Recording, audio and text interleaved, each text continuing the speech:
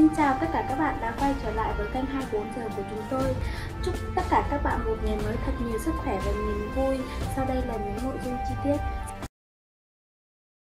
Dương Dương nhiệt ba sượt mượt trong đêm tổng kết Em là niềm kiêu hành của anh sau 27 tập phát sóng, cuối cùng bộ phim Em là niềm kiêu hành của anh cho Dương Dương và Địch Liên Nhiệt ba đồng chính đã đi đến hồi kết trong sự thích thú của khán giả. Với mạch phim giàu cảm xúc cùng diễn xuất đỉnh cao, dự án lần này thu về nhiều thành công đáng nể, trở thành bộ phim xuất sắc nhất trong vũ trụ của cổ màn.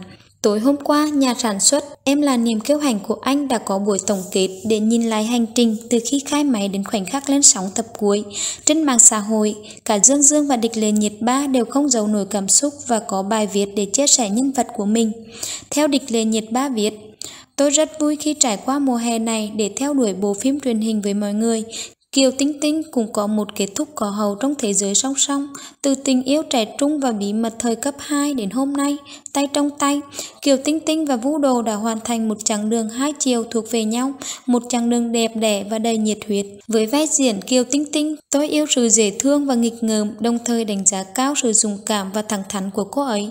Trong tập cuối cùng, Kiều Tinh Tinh với tư cách là một thành viên trong gia đình của các phi hành gia đã cùng chúng tôi theo dõi và chứng kiến ước mơ của các phi hành gia cũng như sự phát triển hưng thịnh của ngành công nghiệp hàng không vũ trụ. Điều này có thể cho phép chúng tôi thấy rằng có một nhóm những người rất đáng yêu và đáng kính đằng sau ngành công nghiệp hàng không vũ trụ. Ngoài Kiều Tinh Tinh, trước đây tôi cũng từng đọc các tuyến nhân vật tương tự nhưng tính cách hoàn toàn khác nhau.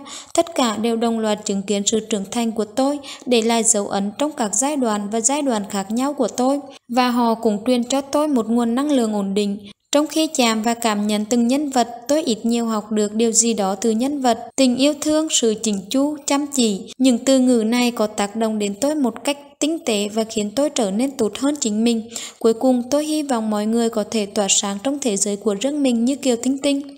Tạm biệt Kiều Tinh Tinh. Đồng thời trên trang cá nhân của mình, Dương Dương cũng đăng tải tâm thư bày tỏ bản thân rất tâm huyết với vai diễn này. Dương Dương viết, Lần đầu tiên tôi gặp cậu là trong cuốn sách vừa gửi, vũ đồ trong sách rõ ràng là tốt như vậy, nhưng ở ngã ba của cuộc đời do dự và lang thang khi đối mặt với lý tưởng và thực tế, và pháo hoa càng mạnh liệt hơn.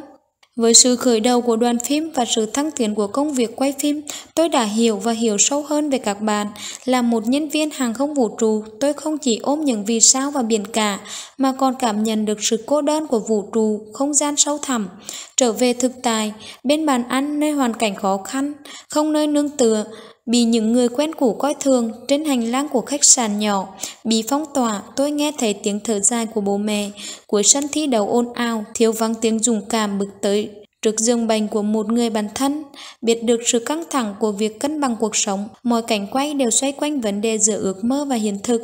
May mắn thay, bạn vẫn kiên định về lý tưởng của mình, lấp lánh tình yêu trong tim. Bạn là người lấy lại tinh thần và cống hiến hết mình cho nghiên cứu hàng không vũ trụ, cho phép nhiều người thấy được sự bền bỉ của các thế hệ phi hành gia và bạn đã lấy hết can đảm để đối mặt với cảm xúc của mình, tuy có phần vùng về nhưng vô cùng chân thành. Những bức thư đầy kiến thức về hàng không vũ trụ đó truyền tải trái tim chân thành và niềm đam mê lãng mạn của các phi hành gia.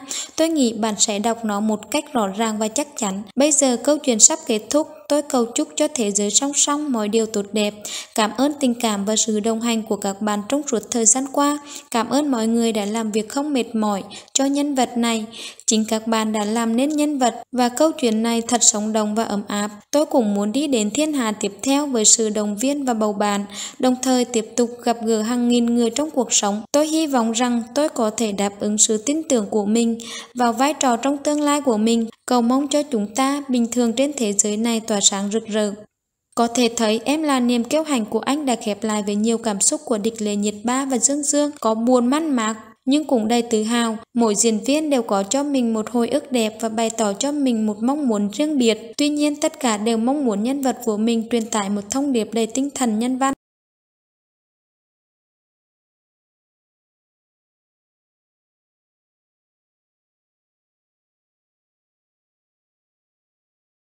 Bản tin của chúng tôi đến đây là kết thúc. Cảm ơn các bạn đã quan tâm theo dõi. Hẹn gặp lại các bạn ở những tin tiếp theo.